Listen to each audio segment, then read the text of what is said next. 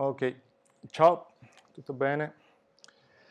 E niente, allora oggi facciamo solo un'ora e mezza, e quindi cercherò di andare avanti un po' più veloce. E, e oggi faremo quello che corrisponde con Bootstrap, che è questo di cui vi ho parlato già parecchio, che vi ho detto che è tutto molto più semplice con Bootstrap, che è un framework che ci aiuta a fare le cose per non fare da capo il CSS come abbiamo fatto finora, ma che in realtà c'è già un tool eh, che ci dà una mano a, a farlo, no? E che in realtà quelli che sviluppano i siti, diciamo, veri, eh, usano questi framework. Eh, è poco realistico pensare che qualcuno ci mette a fare un sito facendo da, da capo il CSS. Quindi oggi vedremo come si usa Bootstrap e niente, capirete anche come quello che avete fatto finora, diciamo, si può anche fare in maniera più semplice con Bootstrap, eh, ma poi il senso di aver fatto tutto quello che avete fatto finora è capire come funziona Bootstrap sotto, no? Non aveva molto senso raccontarvi questo prima se non sapevate cosa, come funzionava il CSS, cosa c'era sotto. Adesso che lo sapete possiamo usare un framework come Bootstrap eh, per velocizzare lo sviluppo del sito. Ok, quindi ehm, niente, partiamo da quello che abbiamo fatto scorsa settimana. Oggi, visto che abbiamo un'ora e mezza, andremo dritto sul, sull'esercizio, su quello di mangiato sul nostro sito e andremo a integrare nel nostro sito Bootstrap e niente, così vi faccio vedere come funziona, ok? Quindi 05 Bootstrap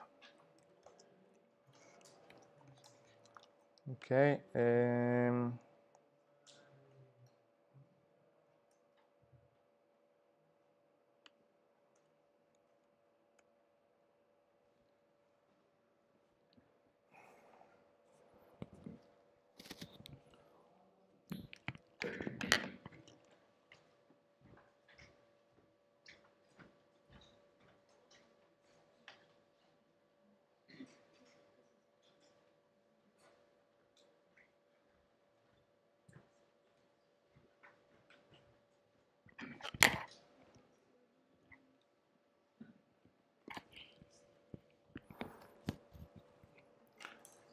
Ok, eh,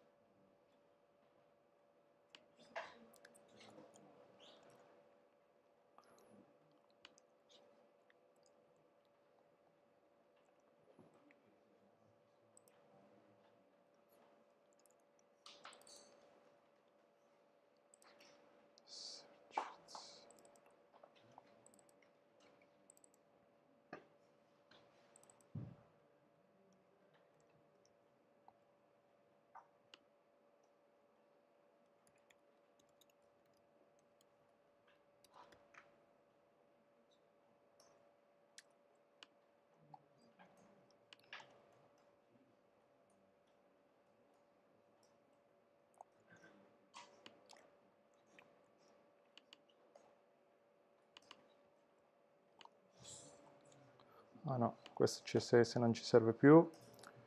Eccolo qua il nostro sito. Eh...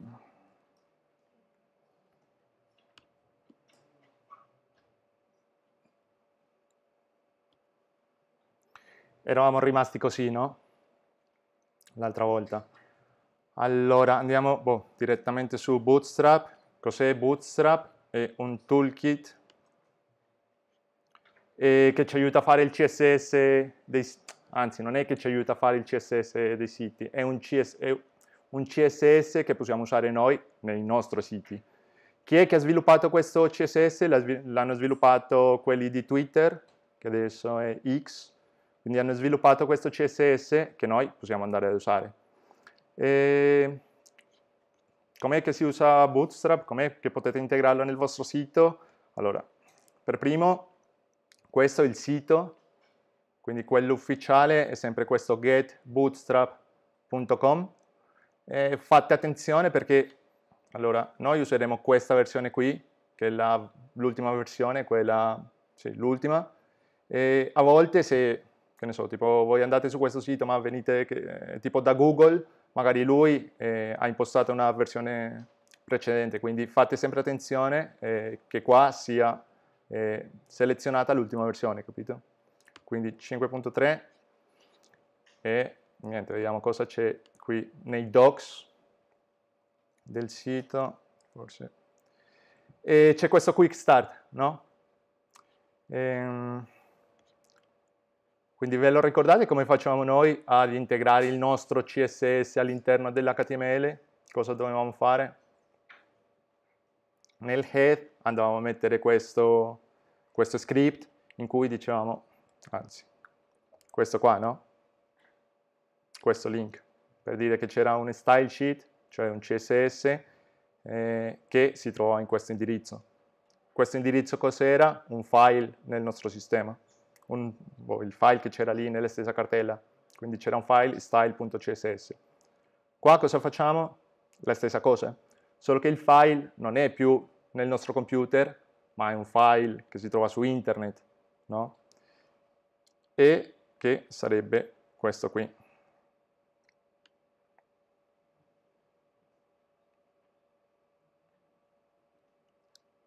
Quindi guardate che qua andrò a cancellare i, nostri file CSS, c'era un altro per Google Fonts, che quello lì un po' assomiglia a Bootstrap, nel senso che non era un qualcosa nel nostro computer, ma era un qualcosa che noi andavamo a referenziare, ma che era su internet. Quindi io andrò a cancellare questi due CSS, torniamo sempre alla versione brutta del, del nostro sito, della nostra pagina, ma poi incollo qui questa,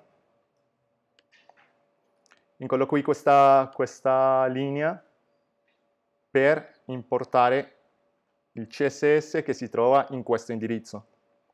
Capito? E, ehm, se noi andiamo ad aprire questa, questa URL, cioè questa... Cosa c'è? Tutto il CSS. Guardate che questo qua è il CSS fatto da loro, no? Quindi alla fine non è cambiato nulla, facciamo la stessa cosa, solo che prima c'era un CSS fatto da noi sul nostro computer, adesso c'è un CSS fatto da loro che lui va a prenderlo da internet. Volendo, anche noi potremmo scaricare questo e lasciarlo lì come file all'interno del nostro progetto. Ma diciamo che, dato che è una pagina web e che sappiamo che ci sarà internet, possiamo semplicemente referenziarlo e niente, prenderlo da, da remoto, da quell'indirizzo che c'è lì. E, come vedete è enorme, eh, ma volendo noi più o, meno, più o meno riusciremo a capire cosa c'è qua scritto, no? Non è un qualcosa strano per noi, si riesce a capire. Diciamo, già con quello che sappiamo di CSS, sappiamo che sono le regole, le proprietà, dei valori, delle percentuali, quindi questo sappiamo come funziona sotto, ok? Bene, quindi adesso abbiamo importato questo. Ehm, bisogna anche aggiungere questo qua, questa linea qui,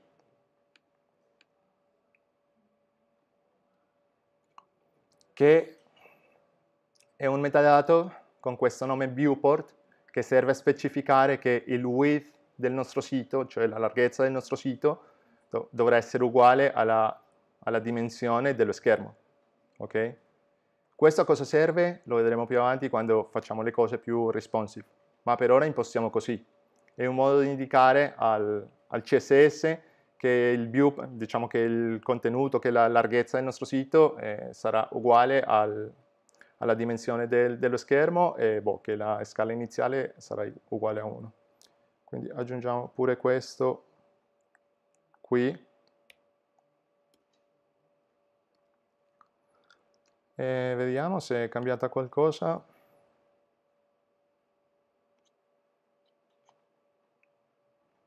Sì, è cambiata qualcosa, no? Vedete che adesso il font non è quello che...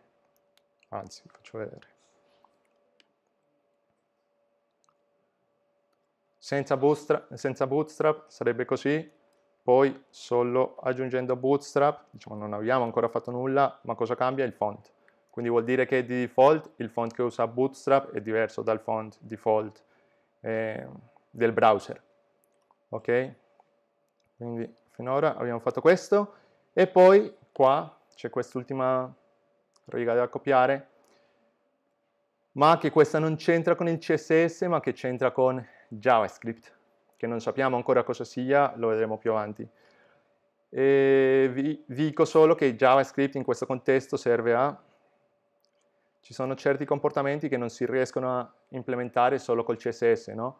Quindi per dire, quando all'interno di un sito ci sono delle animazioni, le animazioni non funzionano con CSS. C'è un codice eh, JavaScript che fa per dire muovere le cose all'interno dello schermo.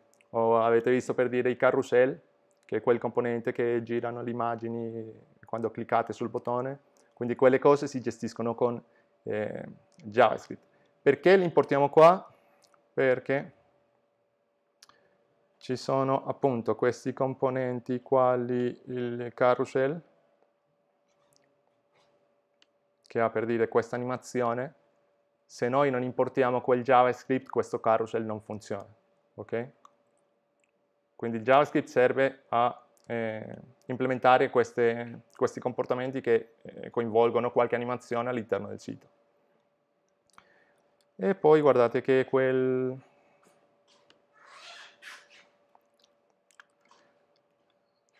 Fate attenzione dove viene importato questo, questo JavaScript. Vedete che l'ultima istruzione prima di chiudere il body e si mette in quella posizione lì perché questo, diciamo, perché dovrebbe essere la ultima cosa a essere caricata eh, del sito, diciamo, l'ultimo componente ad essere caricato del sito, perché molte volte questo JavaScript va a manipolare i componenti che ci sono all'interno del sito, no? quindi se qua ci fosse questo H1 io potrei fare tramite un JavaScript che questo H1 cambiasse, che ne so, quando l'utente passa il mouse sopra, ma se lui, se questo JavaScript è messo prima, non riesce a sapere che qua c'era questo componente, capito? Quindi viene messo alla fine, così carica prima tutti i componenti e eventualmente se questo, se questo script andasse a modificare qualche componente, riuscirebbe a vederlo, saprebbe che esiste quel eh, componente lì. Quindi niente, andiamo a copiare questa.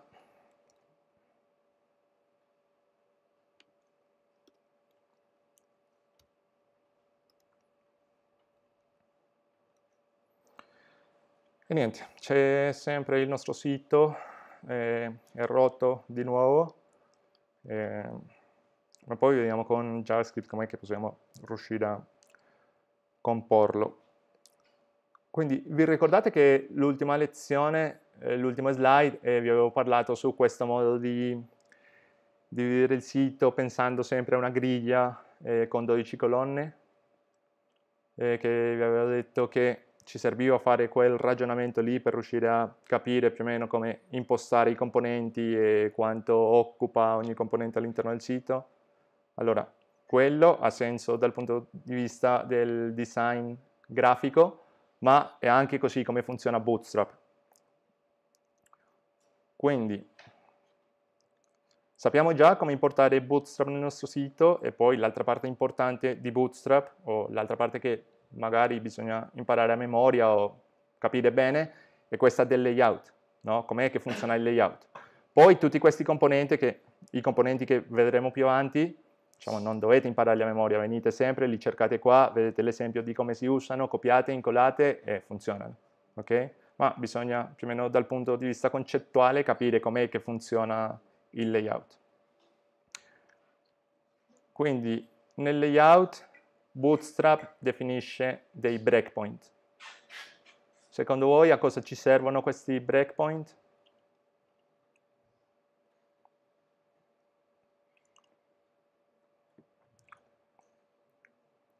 A definire il, la parte responsive del sito, no? Perché Bootstrap ci garantisce che ci gestisce anche eh, diciamo, l'aspetto responsive del nostro sito. Quindi usando Bootstrap non dovremo fare come avete fatto in lab, tipo che avete fatto una, un media query per ogni, per ogni dimensione, ma è lui che in automatico ce lo gestirà.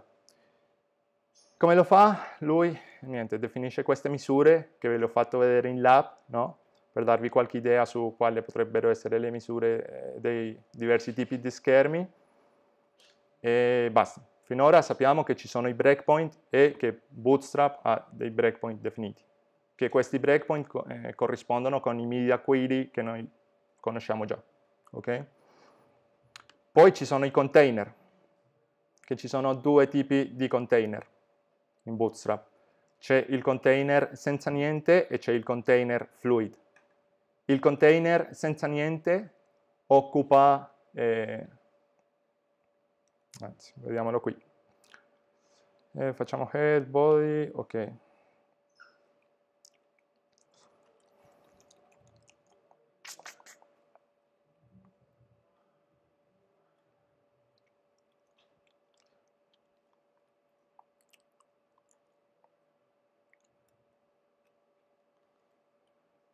facciamo una cosa più pulita e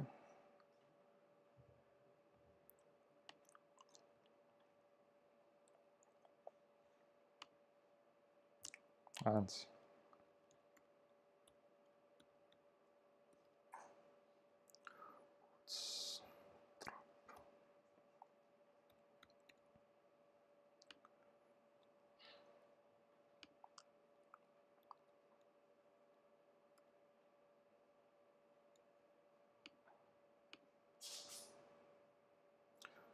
Ok. Ehm.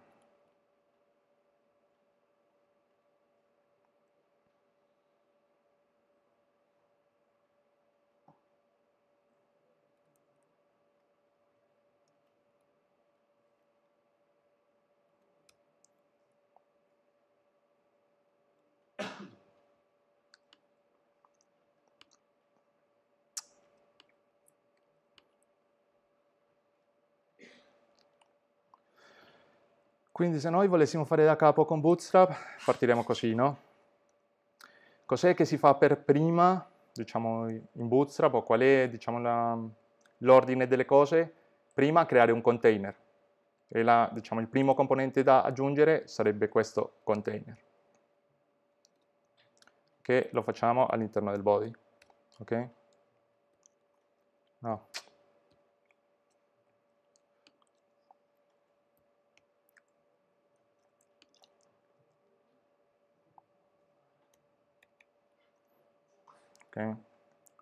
E allora qua ce l'abbiamo il nostro container e per dire andiamo ad aggiungere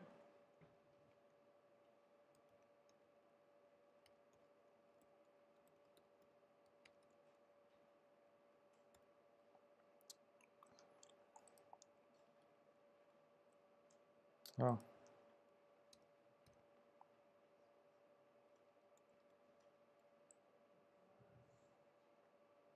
Ok, allora, guardate che con il componente container, lui diciamo, lascia qui accanto un margine, no? Non occupa tutta, tutto, le, eh, tutto lo spazio dello schermo, ma lascia tipo un margine qua, ai lati. Se io al posto di questo usassi container fluid, lui cosa fa? Occupa tutto lo schermo. Quindi questa è una scelta che possiamo fare noi. E pensate che quando voi andate su qualche sito, per dire qua, lui ha occupato tutto lo schermo, no? Eh, non so se...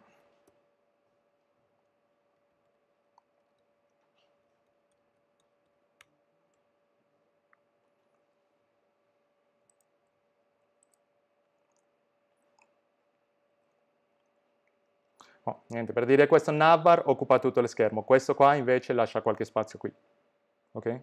Ma per ora tenete conto che il primo componente che viene aggiunto su Bootstrap è il container, che è il contenitore all'interno del quale verranno, diciamo, messi tutti i componenti, arrangiati tutti i componenti. E... Ehm, bene. Poi c'è questo grid, no? Quindi le cose all'interno di, di Bootstrap si organizzano con un grid. Cosa ci vuole per fare un grid? Oh, sì, cosa ci vuole per fare un grid? Quali sono i componenti all'interno di un grid? Una row, no? una riga, e all'interno delle righe cosa c'è? ci sono delle colonne, no? Quindi c'è il container, all'interno del container ci sono delle righe e poi all'interno di ogni riga ci, ci sono delle colonne. Basta. Quindi vediamo questo esempio come funziona sul nostro sito.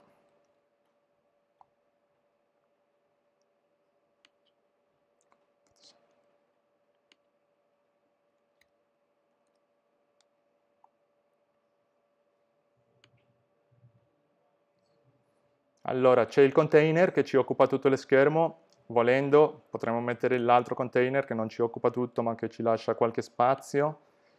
C'è la riga e poi, guardate che qua, mettendo solo questo CSS call, lui cosa ha fatto? Ci ha creato boh, tre colonne e ad ognuna ha dato lo, spazio, lo stesso spazio, no? Perché non abbiamo specificato una, una dimensione alle colonne. Quindi tutto chiaro? Ehm, basta. Se noi andiamo avanti,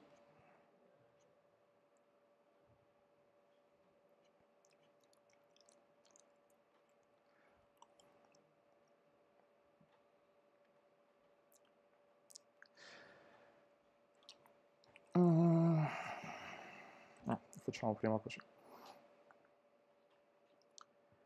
io volessi cambiare per dire eh, la dimensione di questa colonna o la proporzione del, dello schermo che occupa quella colonna, come potrei fare? Vi viene in mente qualche idea? Allora, qua è una figata perché se io avessi solo due, per dire, lui cosa fa in automatico? Distruisce, giusto? Ma vi ricordate che quante colonne avevamo detto che c'erano all'interno di Bootstrap? 12, giusto? Se io mettessi qua col 8, lui cosa fa? Da questo 4, giusto? Guardate che se io metto 4, allora lui lo fa in automatico. Vedete? Quindi non siamo noi che dobbiamo creare una classe per ogni, boh, per ogni componente poi andare a editare il CSS per fare che eh, con Flex occupi boh, eh, Flex 1 e Flex 4, ma lo fa lui in automatico perché tutte queste classi che ci consentono di gestire il layout sono già state definite da loro, ok? Da chi ha sviluppato questo CSS di Bootstrap.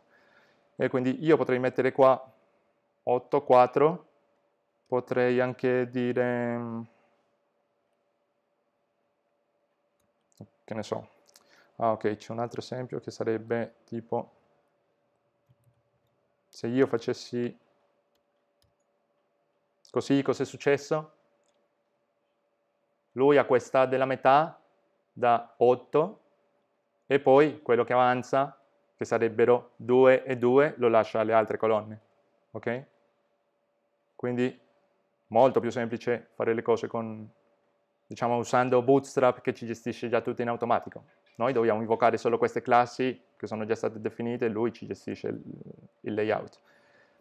E qua sul sito trovate tutti gli esempi. No? Allora, per, per dire l'esempio che abbiamo appena fatto sarebbe questo.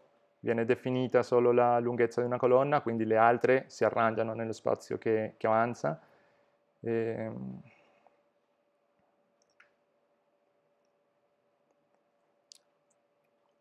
e basta.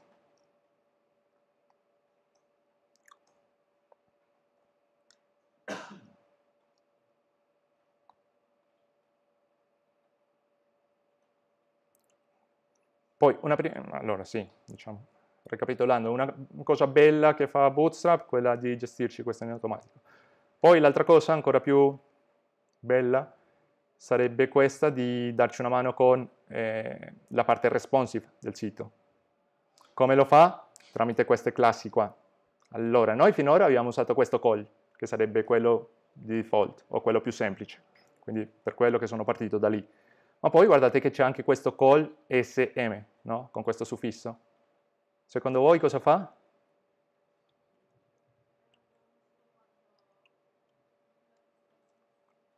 Sì, allora, sì. Dà quella dimensione al componente quando lo schermo è small capito? Facciamo la prova con questo. Ehm, facciamo che questo è call 4, questo è call... Ah, ok.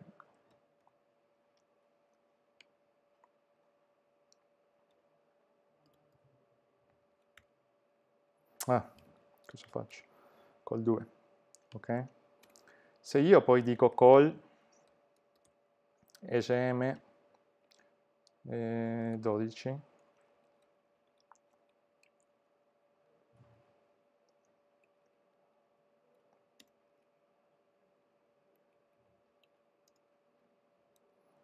e questo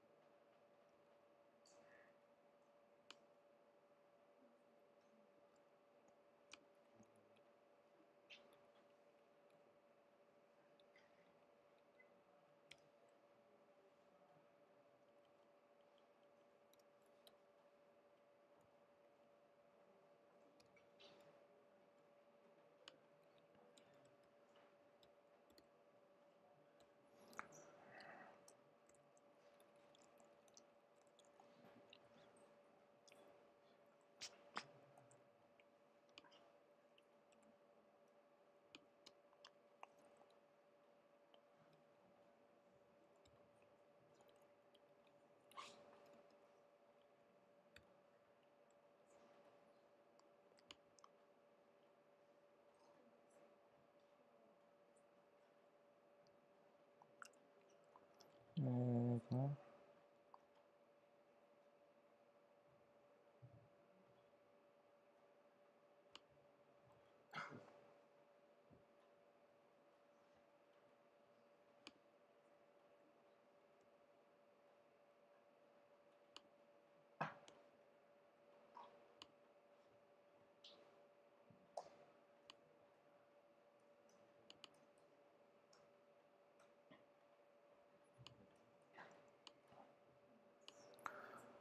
Allora, vediamo se...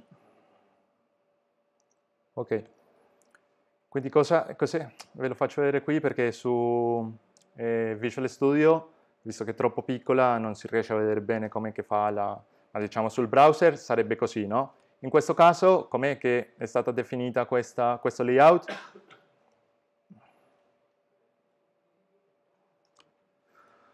Sul codice ho detto quando lo schermo abbiamo questo medium, cioè quando ha da medium in poi, da, quando, da quando ha quel breakpoint definito come medium in poi, si usa questa distribuzione qui, no? La prima colonna ne avrà due, la prima, sì, la prima colonna avrà 2, questa avrà come proporzione 8 e questa avrà come proporzione 2. Quindi guardate che tutto questo è somma eh, 12.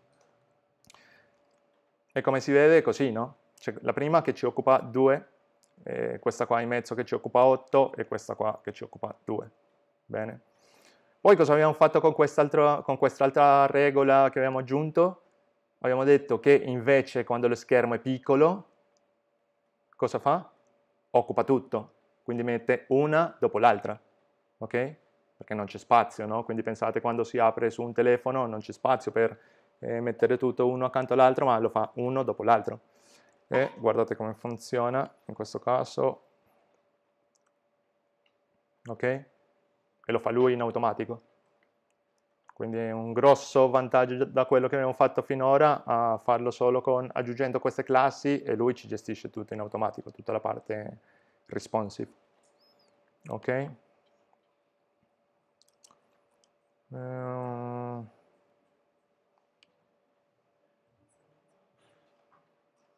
e per sapere di preciso qua, eh, qual è la misura che usa lui o come, come guida, eh, venite qua e guardate questi breakpoint. No?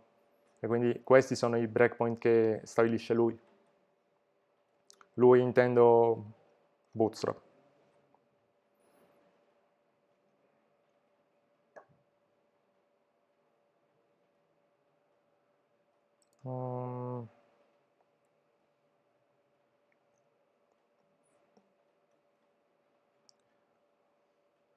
E, ehm, e, niente, sul sito ci sono tantissimi esempi da cui potete prendere, boh, prendere ispirazione. In realtà copiare e incolare, solo che facendo attenzione farete sempre così, no? Andate, andrete sempre al sito, sul sito, copiate incollate quello che c'è, eh, a seconda dall'esempio che, eh, che voi volete diciamo, integrare sul, sul vostro sito, eh, ma l'unica cosa a cui bisogna sempre fare attenzione è sempre questa struttura, no? C'è prima il container, c'è poi il row e all'interno delle row ci sono le colonne, c'è il call, ok? Container, row, call. Se fate così è sempre tutto a posto, quindi bisogna solo fare attenzione a quello, a rispettare quella, quella struttura lì, ok?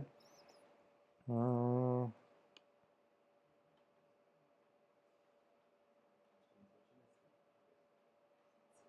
Boh, sì. Anche, guardate che questi esempi che sono qui anche, diciamo, cambiano a seconda da,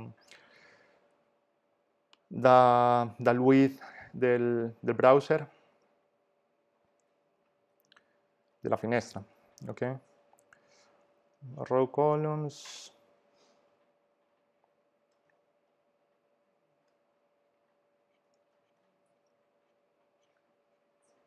Ok, fin qua tutto chiaro? Sì? Domande? Ok.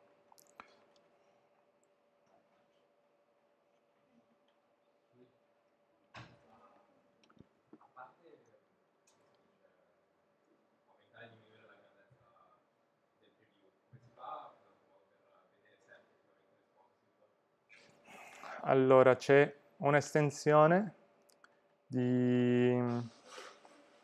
No, ma, ma, diciamo sarebbe quella la, il test da fare. Eh, sì, perché in realtà è così come sappiamo se con un'altra, un'altra dimensione funziona. Poi per farlo diciamo più semplice c'è un'estensione, eh, fammi vedere, non so se ce l'ho qui su, su Safari. Eh, apri pagina con risorche.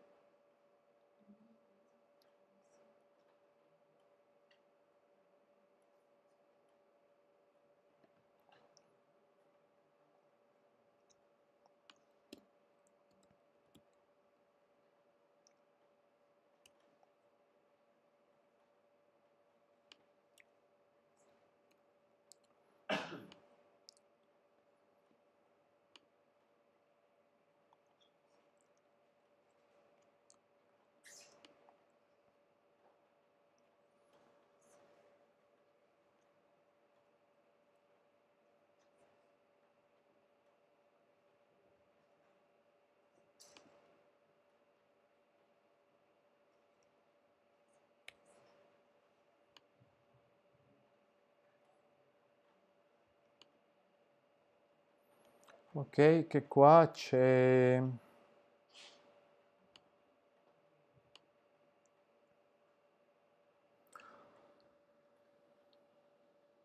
Su Chrome c'è questo altri strumenti e poi c'è strumenti per sviluppatori. E in teoria tra questi qua c'è boh, questo tool per impostare, per dire le dimensioni dei diversi device da cui si può aprire il, il sito, no? Quindi per dire come si vedrebbe questo su un iPad Air, per dire, e si vedrebbe così. Quindi in quel caso lui usa l'impostazione che abbiamo messo noi con le colonne MD, no? Perché un iPad mini avrebbe le dimensioni che rientrano in quella categoria di, lì di call MD qualcosa. Invece se noi eh, vedessimo questo sito su un iPhone si vedrebbe così, no? Che sarebbe l'interfaccia responsive. Quindi sì, per fare il test potresti usare questa, diciamo, eh, Google Chrome e usare quei tool per sviluppatori e, e niente.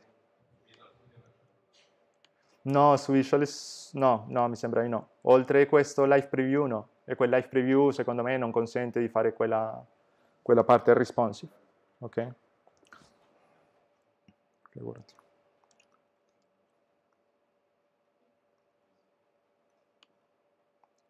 Ok.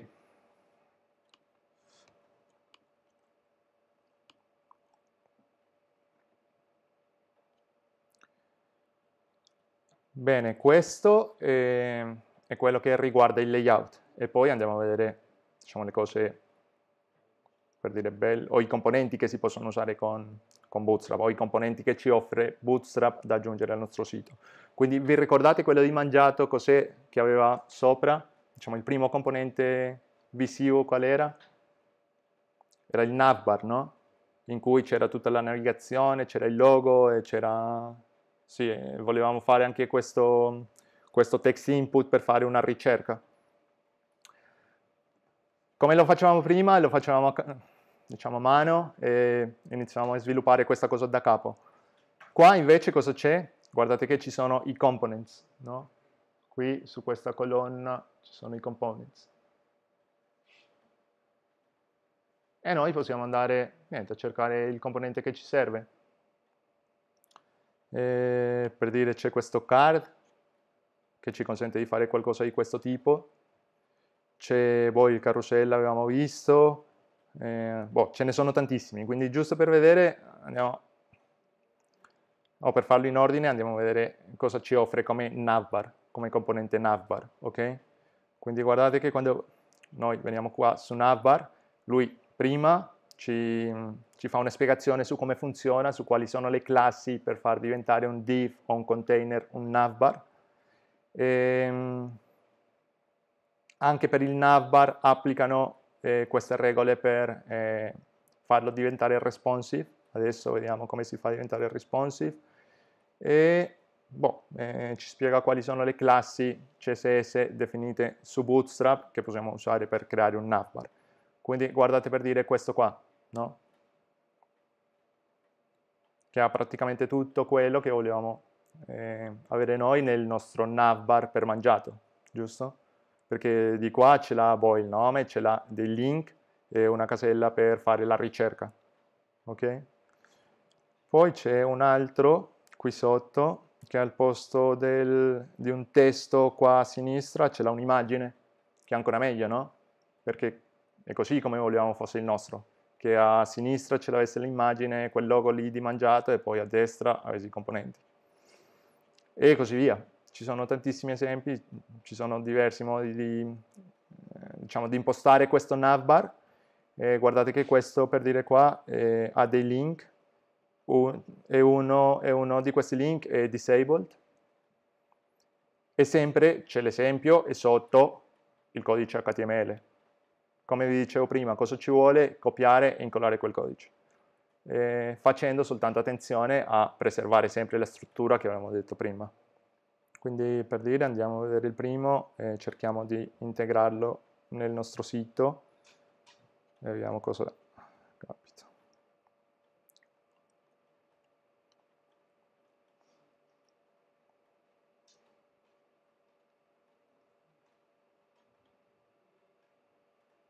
Quindi si può copiare cliccando qui.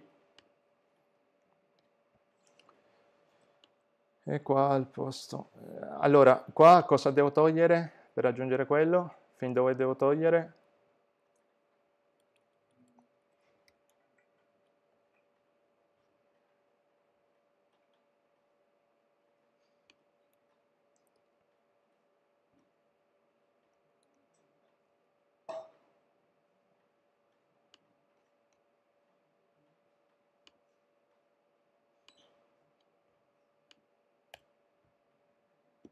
Ok? Quindi cos'è che ho fatto? Ho detto che all'interno del mio container il primo componente che aggiungo sarà questo componente di tipo nav che ha queste classi qua. Dov'è che sono definite queste classi? Sono definite nel CSS Bootstrap. Ok?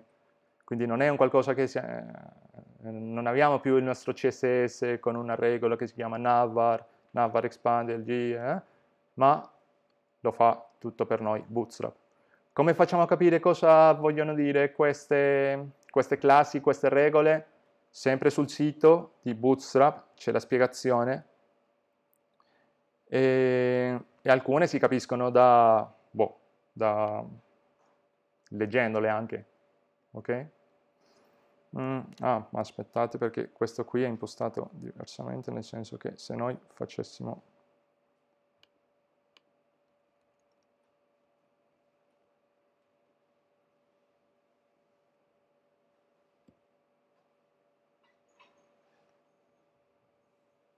Quindi guardate che questo qua ha definito prima il nav e poi all'interno del nav ha definito il container.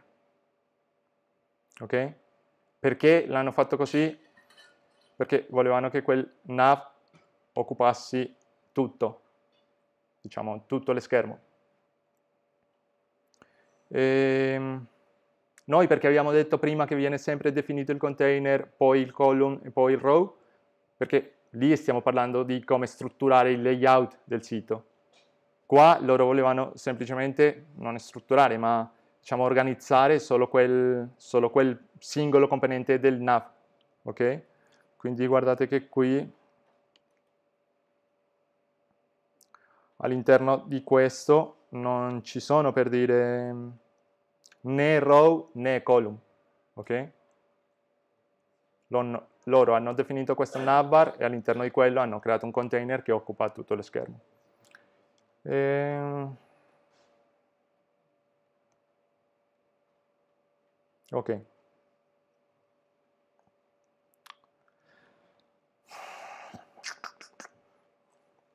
Perché qua c'è questo bottone? Secondo voi cosa sarebbe?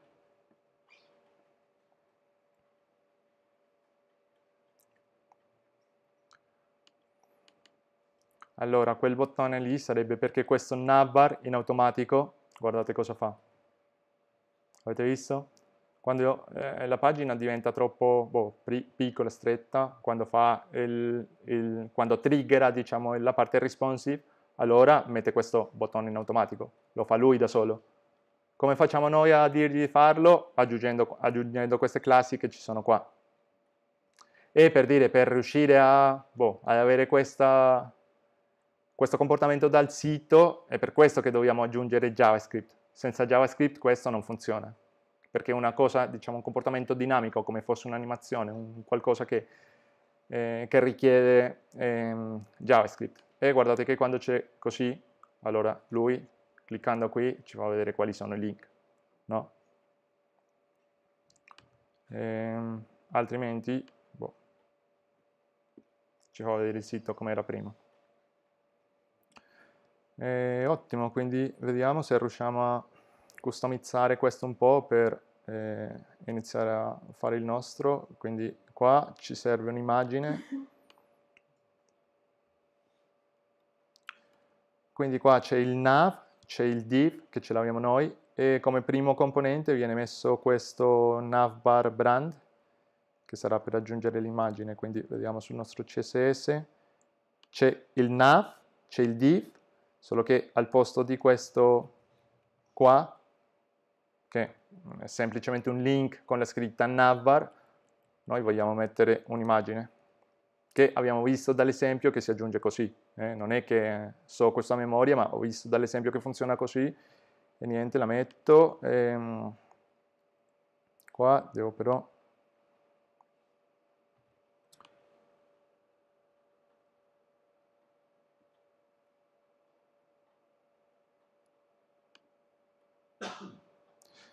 mm, com'è che si chiamava? Logo.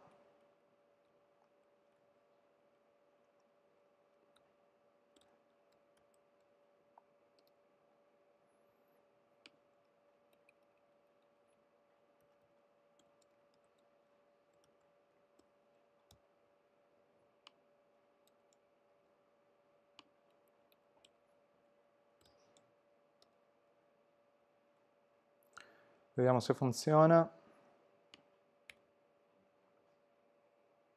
Ah. Oh.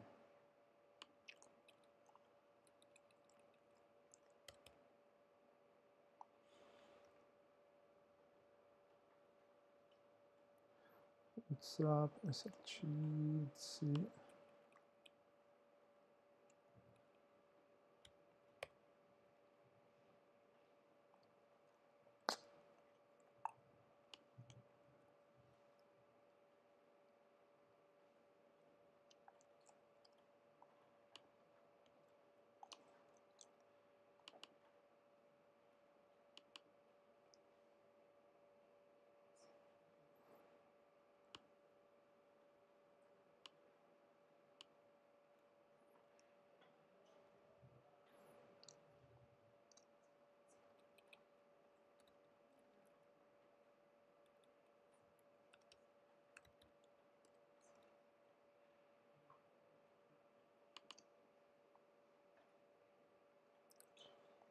Qua non so perché non prende.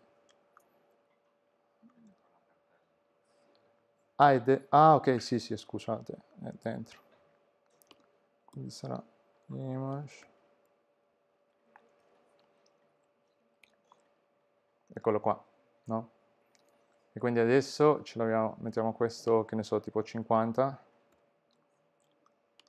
qua 50 e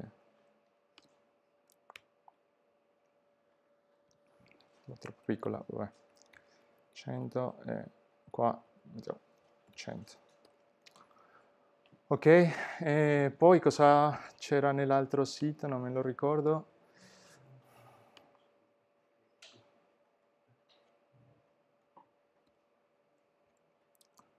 Noi abbiamo messo menu orari, chi siamo, contatti, avvisi, quindi com'è che facciamo?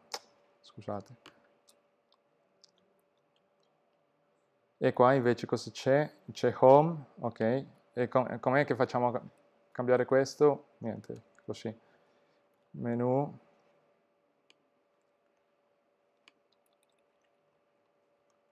Orari. Ah, ok, in questo qua, nel nostro, c'è questo drop down, no? Che è uno diverso, non, non è quello che ma non ci interessava, ma è diverso, ma...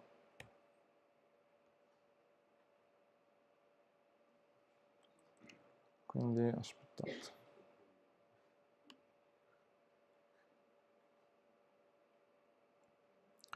Facciamo tutti come questo, no? perché oh, per ora i nostri link sono, sono semplici, quindi direi che usando solo questo ci va bene.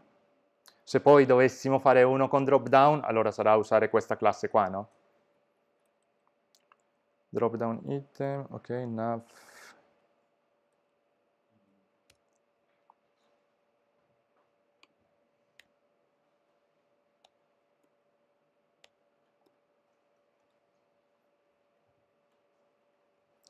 Eh,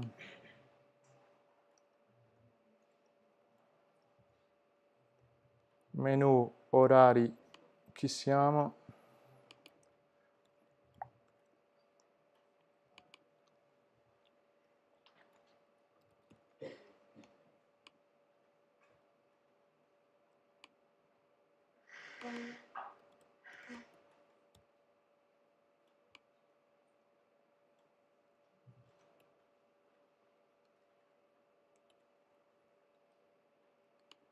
Eh, cos'era?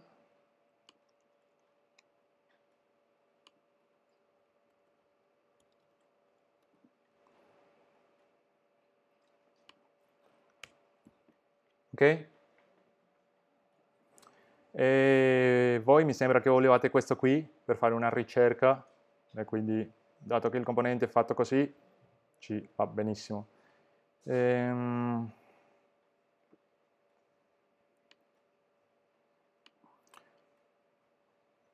Poi qua ci sono sempre tantissime cose diverse che possono continuarsi a fare sul, oh, sul navbar. Eh, come vi dicevo prima, dovete sempre andare a cercare la documentazione, vedere gli esempi e scegliere quello che vi piace di più. Copiare e incollarlo sul vostro sito. Ehm... Oh, c'è di tutto è solo, boh, questo è il testo, testo, io volessi cambiare il colore di questo, come faccio? Guardate che c'è questo qua, che ha il background dark. E...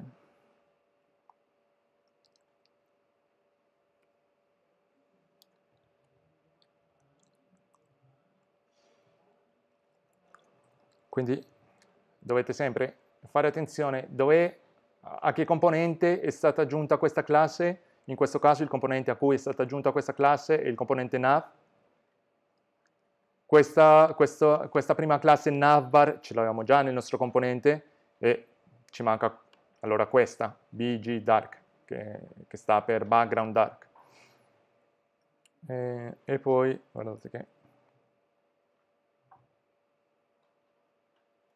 Adesso mi sembra che abbiamo questo background body, eh? quindi se noi togliessimo questo, aggiungessimo vg dark, cosa fa? Mette quello dark, ok? Poi come fate a mettere il testo in bianco? Sempre la stessa cosa, andate sul sito e vedete, qua mi sembra order bottom, ah ok, aggiungete questo qua.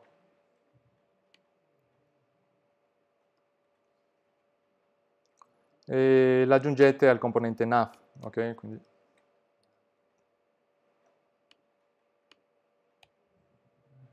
questo per indicare che usiamo un, non solo lo sfondo oscuro ma anche il tema oscuro in modo che lui mette eh, il testo in bianco e anche questo qua avete visto che l'ha messo in bianco? Questa search per farla visibile. Ok bene. Quindi fin qua tutto chiaro? Domande? Ok. E, bene, allora proviamo a fare, diciamo, come esercizio e anche per vedere, fare più esempi su come si fa a prendere i componenti di Bootstrap ed integrarli sul nostro sito, proviamo a vedere cosa, cos'altro possiamo sistemare, boh, sistemare o rifare da, dal nostro sito come era prima, eh, per farlo diventare boh, sito boh, per aggiungere le, le, classi Bootstrap, ok? Quindi questo cerca col bottone ce l'abbiamo già fatto. Non so se vi ricordate una volta che abbiamo fatto un bottone che ci avevamo messo un bel po', no? Perché bisognava con il CSS definire il background e aggiungere quello stile per, per gli angoli del, del, bottone, farli diventare rounded, e avevamo cambiato il font, avevamo cambiato tante cose e qua invece lo fa lui in automatico. Mm. Allora, questo cerca cerca c'è già, eh, il logo ce l'abbiamo già, abbiamo anche eh, il link, eh, è già tutto impostato sul, sul, sul, sul nav.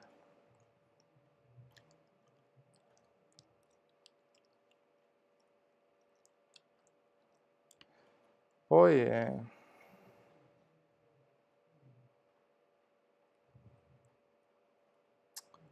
anzi facciamo così.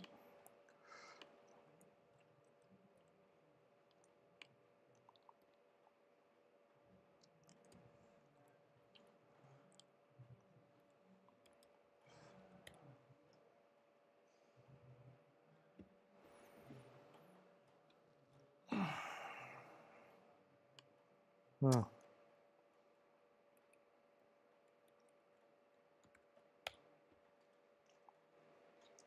ok questo è il sito e poi c'era qua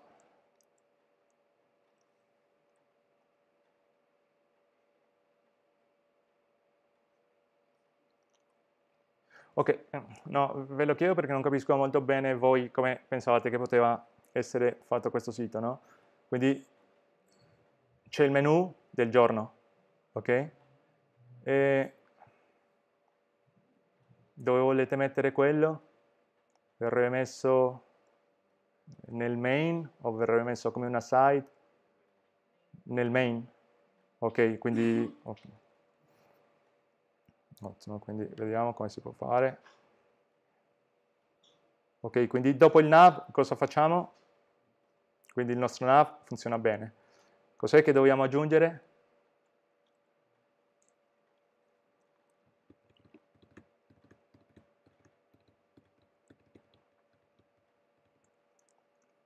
un altro contenitore, no? Diciamo per andare a inserire tutti gli altri componenti. Finora ce l'abbiamo il main, è a posto, lo lasciamo così. Poi dobbiamo aggiungere altri contenitori.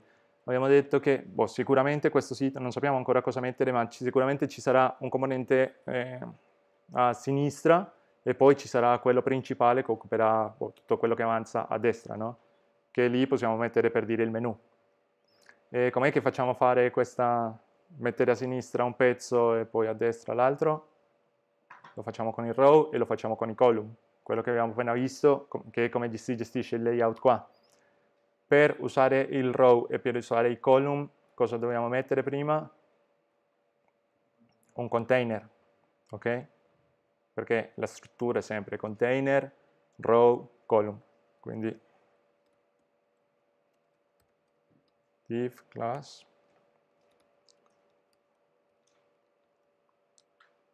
container poi all'interno del container cosa viene messo?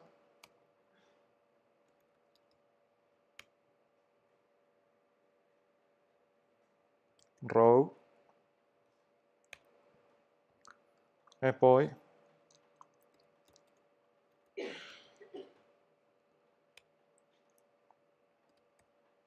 la colonna, ok? Mettiamo che questa occupi 4 e, ok. E facciamo un'altra.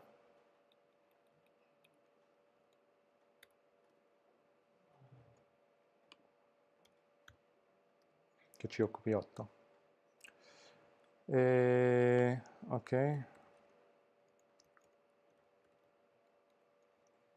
Giusto per vedere come quindi c'è il menu del giorno messo qui, qua, eh, ma qua secondo voi cosa possiamo mettere? Ah sì, forse sì, boh.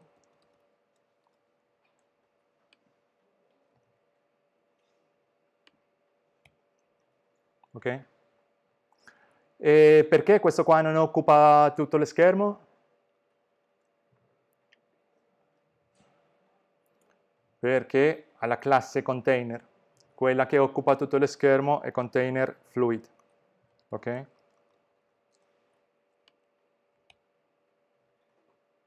A me piace di più che non occupi tutto lo schermo, quindi lasciamo così container, container normale e il nav, boh, possiamo lasciarlo così com'è, ok? Che occupi tutto che è un po' la stessa cosa che c'è sul sito di Bootstrap, no? Guardate che questo occupa tutto e invece i contenuti occupano solo, diciamo, non si spandono ehm, su, tutta, su tutto lo schermo, ok?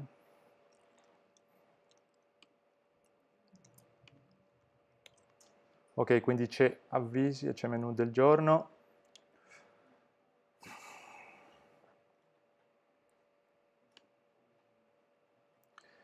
E...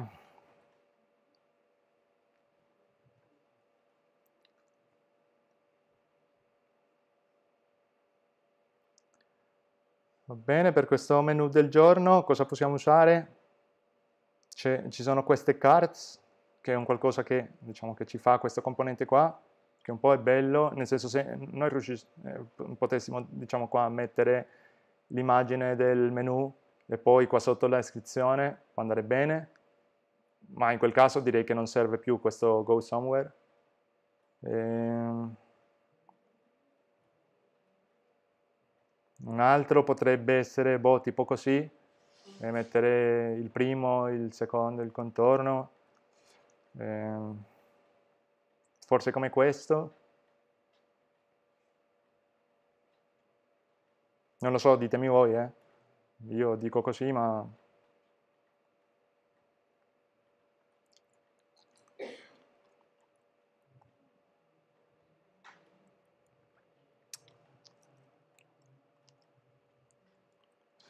C'è questo, non so che altro componente ci possa servire, c'è questo list group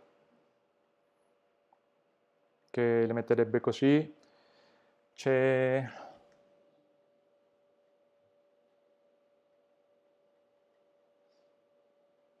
Oh, facciamo così. Con... E così riusciamo a usare questo componente e vi faccio vedere come si integra un componente come questo. E card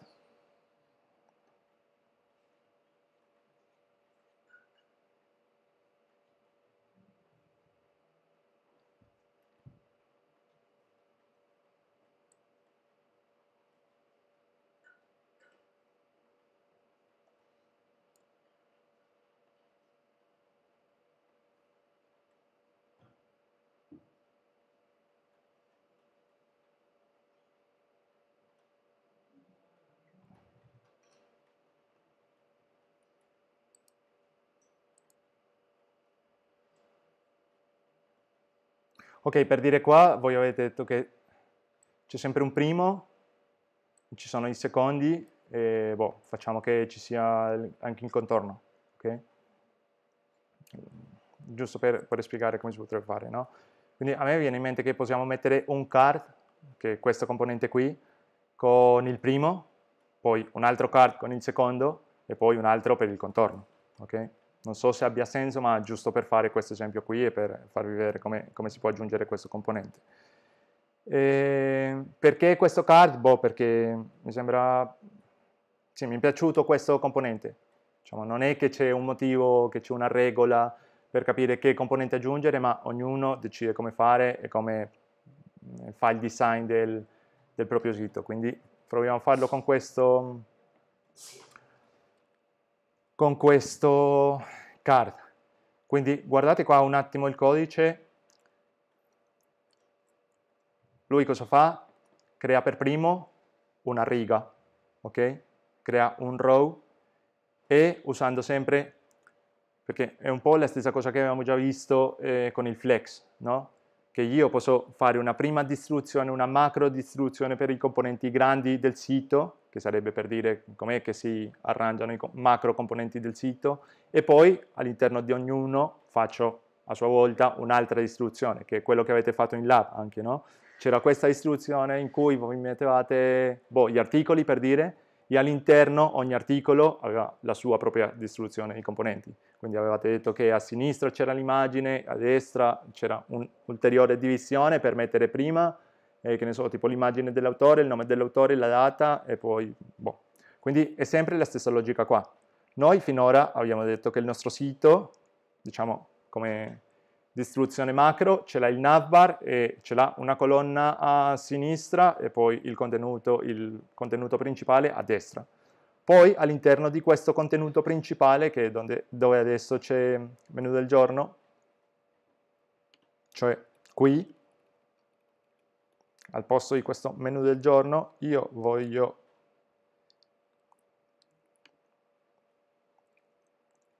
aggiungere due card, per dire due di questi componenti.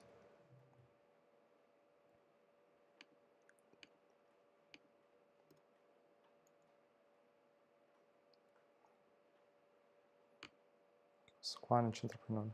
Quindi avete visto? Fin qua avevamo fatto tutto a mano e qui, eh, che il pezzo in cui voglio aggiungere i componenti, boh, copio e incollo. Ehm,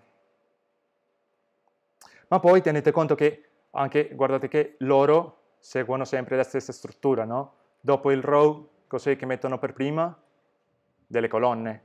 A cosa serviranno queste colonne? A dare una dimensione ad ogni card, ok?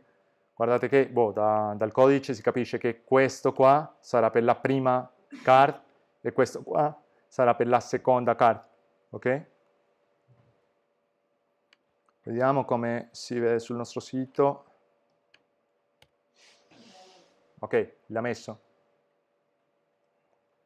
Solo che al posto di questo noi diciamo questo è eh,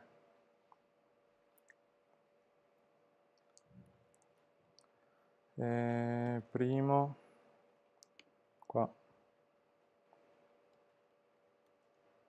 secondo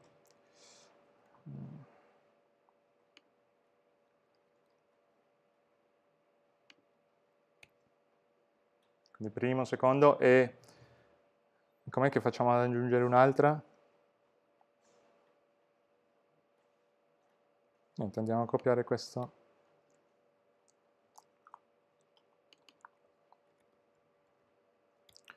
In questo caso però dobbiamo fare attenzione a, a, a, questo, a questa regola CSS, no?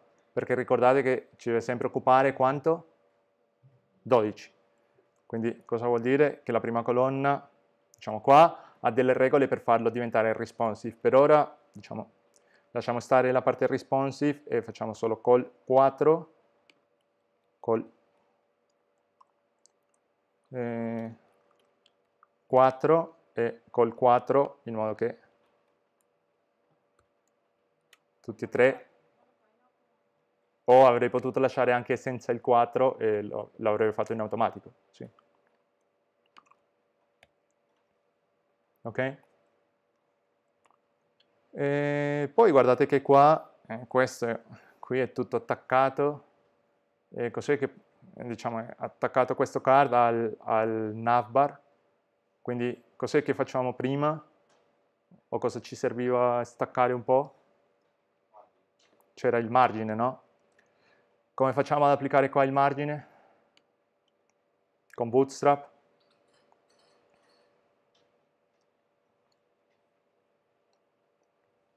cerchiamo qui.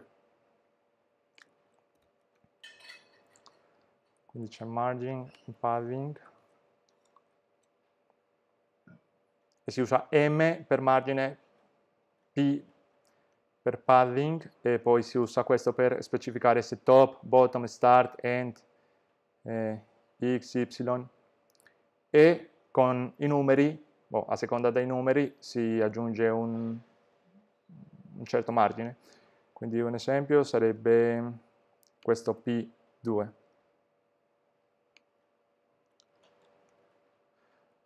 Dove possiamo aggiungere questo margine? Forse al container, no?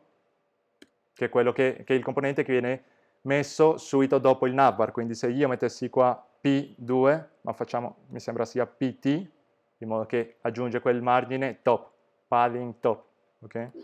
Vediamo se funziona, non lo so. Sì, ha fatto qualcosa. E che altri numeri c'erano qui specificati? Solo che questo è troppo piccolo, facciamo con 5.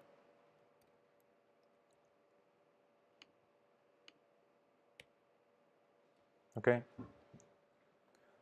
Quindi lì ha messo un altro, forse un po' troppo, quindi...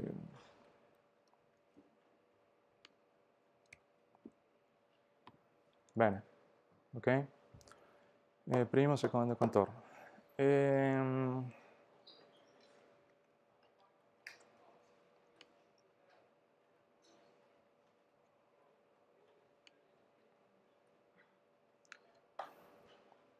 Ah, poi c'erano queste recensioni.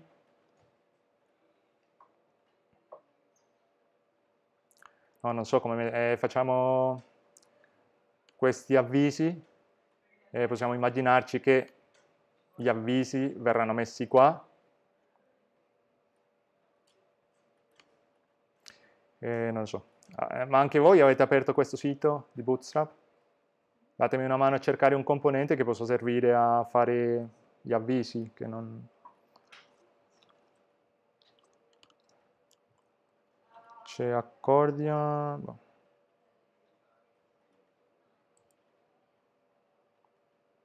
Ah, forse questo alert?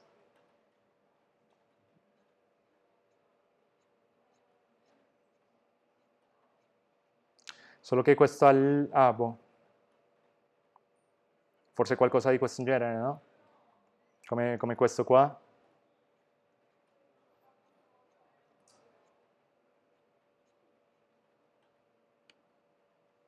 Questo batch no. Questo no. Button, button group, card, carousel, close button, collapse, top down, list group.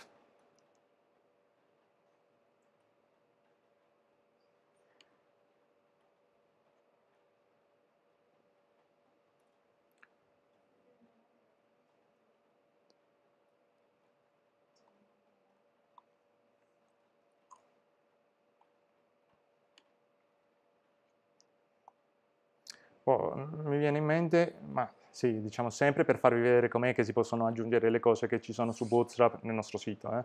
ma mi viene in mente che forse questo qua potrebbe andare bene.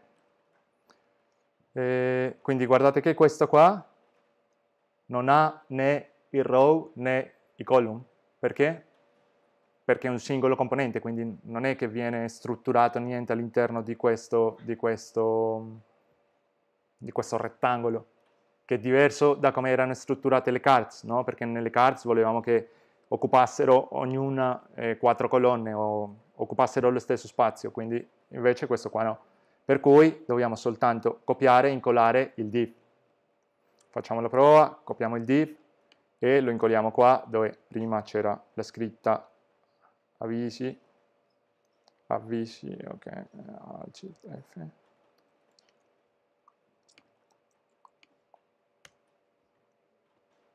Ci sta, no? Solo che al posto di questo well done E se al posto di farlo verde, di avere lo sfondo verde, noi volessimo usare quello blu, quindi qua c'è l'esempio, che si fa con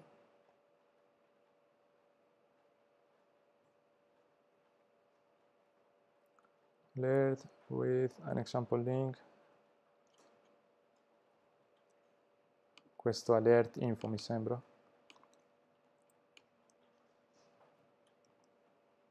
Ok, sì, al posto di alert success, che lo dipinge di verde, ci sarà alert info,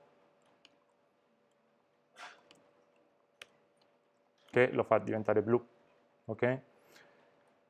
Ehm, poi se qua, diciamo, senza aver usato questo, questo componente alert questa, questo CSS alert, io avessi fatto come facevamo sempre prima, tipo H3 e avvisi e sotto avessi fatto, che ne so, tipo un paragrafo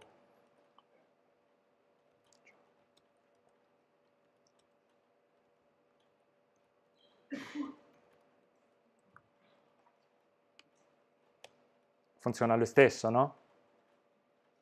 Ovviamente viene sempre tutto renderizzato e applicato allo stile di Bootstrap, ma funziona lo stesso, no? Non è che per aggiungere ogni, qualsiasi componente sul sito dovete andare a cercare un componente apposta, ma diciamo i componenti servono quando vogliamo fare qualcosa forse di complicato o, rendere, o sì, aggiungere qualcosa di complicato, ma se eh, soltanto qualcosa di questo genere basta con aggiungere le cose come abbiamo fatto finora. Ehm...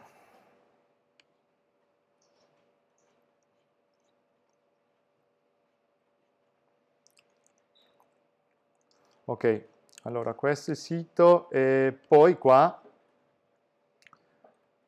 diciamo, ricapitolando, c'è Bootstrap, sapete già come scaricarlo, sapete come scaricarlo, come integrarlo al sito, sapete come funziona il layout e sapete come andare ad integrare dei componenti che ci offre sul, sul, nostro, sul nostro sito.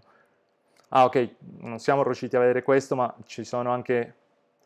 Eh, delle regole CSS per gestire, per dire, le immagini, quindi ve lo ricordate che voi nell'app volevate fare, che ne so, tipo un'immagine che occupassi a sinistra e avesse una certa, una certa dimensione? Allora qua c'è un, una classe che ci aiuta a fare quel thumbnail, c'è un'altra un, altre regole CSS che ci aiutano a, a, ad allineare le immagini, mi sembra ci sia anche una per farle diventare così, metterle all'interno di un cerchio, oh, quindi per fare tutto questo bisogna sempre andare a cercare su Bootstrap, vedere cosa ci offre e cosa possiamo copiare e incollare, ci fa fare le tabelle, ci fa fare le figure, boh, c'è tantissimo da, diciamo, da esplorare qui. Ehm...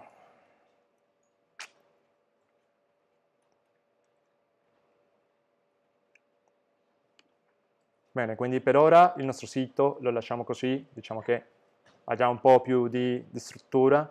Guardate che in realtà a fare questo ci abbiamo messo pochissimo, eh, c'ero io che cercavo di spiegarvi ogni cosa, ma in realtà come sviluppo, come codice, è copiare, incollare e funziona lui in automatico.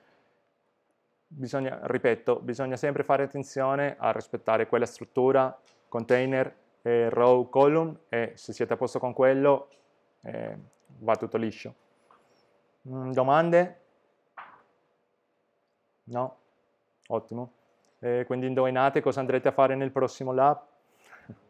Fare questo ma con Bootstrap, ok? Diciamo fare sempre lo stesso layout ma con Bootstrap e facendo anche la parte, la parte responsive, ma anche con Bootstrap è banale quasi, ok? Quindi niente, ci vediamo giovedì, eh, finiamo qua.